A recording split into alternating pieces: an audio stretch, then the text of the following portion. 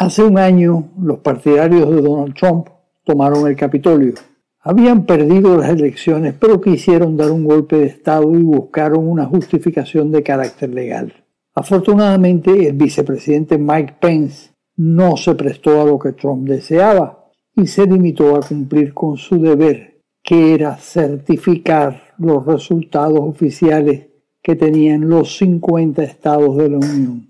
Si esto no hubiera ocurrido, sabe Dios lo que habría sucedido.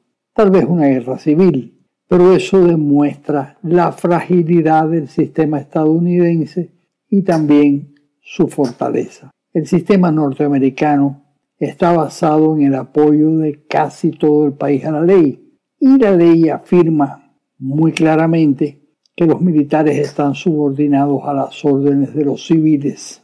Trump dijo que los demócratas habían violado la ley y habían ganado con trampas, pero no probó absolutamente nada. Lo dijo, pero no, no fue algo que aportara las pruebas. Le rechazaron la acusación en 62 cortes compuestas por republicanos y demócratas. El problema es que un porcentaje muy grande de los republicanos cree que les han hecho trampas y el sistema solo funciona si hay un respaldo tácito a las instituciones. Trump lo dijo porque lo creía o porque le convenía decirlo. Yo no sé. En principio le ofrezco el beneficio de la duda, pero yo creo que estamos ante un señor absolutamente cínico que hace cualquier afirmación.